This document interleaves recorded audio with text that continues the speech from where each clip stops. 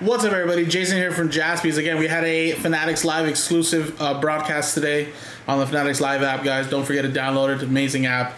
Uh, we had a six box mixer that we did over there that included a box of 2022 Optic Hobby, 2022 Mosaic, uh, sorry, 2021 Mosaic Hobby, 2022 uh, Panini 1, and uh, little Phoenix 2021, Limited 2021, and then 2022 clearly Donruss.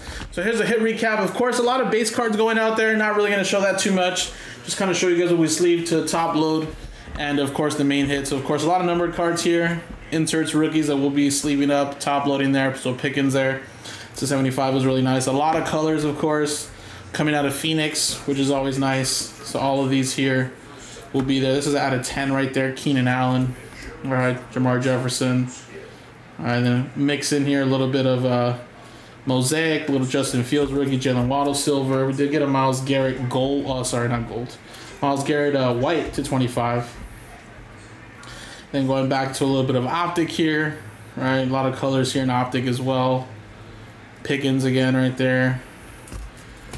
And then, of course, just a couple more here in the Mosaic 2021. DeVonta Smith.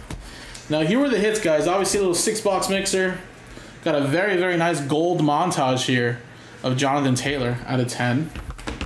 Got a little relic here of Kadarius Toney from Limited. We got a Rashod Bateman relic there from Phoenix. We got a Pat Freiermuth dual relic and autograph orange to 125. Dyami Brown was the RPA at a Limited. Then we got a Sam Williams autograph out of the Optic 2022. That's a Black Pandora to 25. Autograph for Sauce Gardner, the Jets, out of Clearly.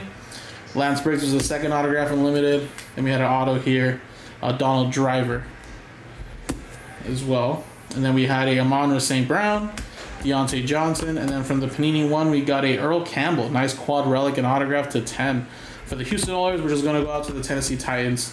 So appreciate you guys. This was the six box mixer recap video. Uh, thank you guys for shopping with us, and we'll be live soon again on the Fanatics app. Thank you.